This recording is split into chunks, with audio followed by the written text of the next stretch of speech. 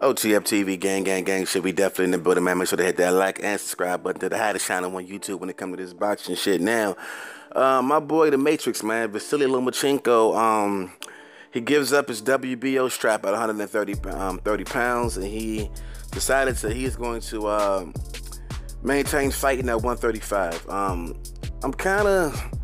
I'm kind of lost with this, but apparently it was some, you know, some bullshit going on with the WBO. They were trying to force him to to make a mandatory defense again this only 10 days after his fight with Jorge Linares and he's supposed to return back to the ring on August 25th my birthday my birthday Virgo season you already know gang gang gang shit and um Lomachenko just wasn't fucking with it man and I honestly wanted to see him clean out 130 um I felt like he could beat everybody down there at 130 before I seen him move up to 135. And now I know um, the haters are going to say that, oh, this is an attempt to, to duck Gervonta Davis. Like, I, I, know it's coming. I know it's coming.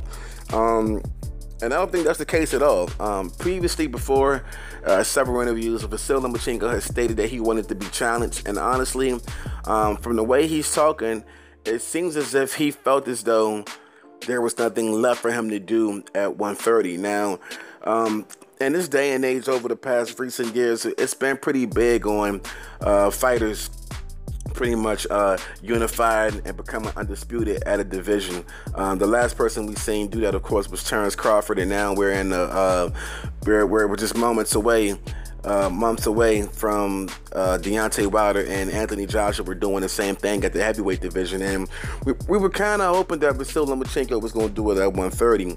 My only problem with Vasil Lomachenko's moving up to 135 is um, Vasil Lomachenko has a uh, naturally small frame. Now I know they're to say, "Well, Manny Pacquiao moved up plenty of weight class." Yeah, Manny Pacquiao was on the juice. Okay, Manny Pacquiao was on the juice, and that's why he was able to sustain that power he had at those smaller weight classes all the way up to 147.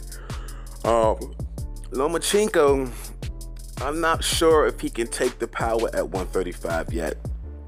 Um, I wanted to see him try to work his way in the division a little bit better. Maybe I maybe I'm wrong on this, but it seemed against Jorge Linares that Linares' power was too much, and um, I would hate to see him get in the ring with the likes of a Mikey Garcia, who tends to sit down on, on his punches. Um, a lot more so than what a Jorge Linares would do. And also, if you just look at their figure, their their their, their stature, their, their feature stature, um, Linares looks so much bigger than Lomachenko, man. So I'm not. I don't, I don't know, man. I'm just, you know, I'm worried about my boy because he, he gets a lot of hate as it is, and I know, you know, people were just, you know, they're already on this Orlando Salido shit. He's not that great. He lost to Orlando Salido. Um, which a lot of people felt he was robbed, but they don't let that down. They just look for any excuse to hate on Vasily Lomachenko now. Maybe it's his color of his skin, and maybe also because he gets a lot of, you know, he gets a lot of love in the sport of boxing. People are, you know, calling him great at such an early stage in his career with only 12 fights in, but nevertheless, it is what it is. The man has proven himself in 12 fights. He's a three division world champion in 12 fights. In 12 fights, he is a three division world champion.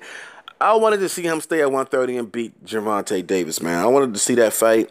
But um, you know, maybe we'll see it at 135. But nevertheless, I'm just reporting the news. It's OTF TV, gang, gang, gang shit. I got more videos coming soon, man. Okay? More videos coming soon. And shout out to my subscribers, man. My channel was nothing without y'all. We the family. -gang.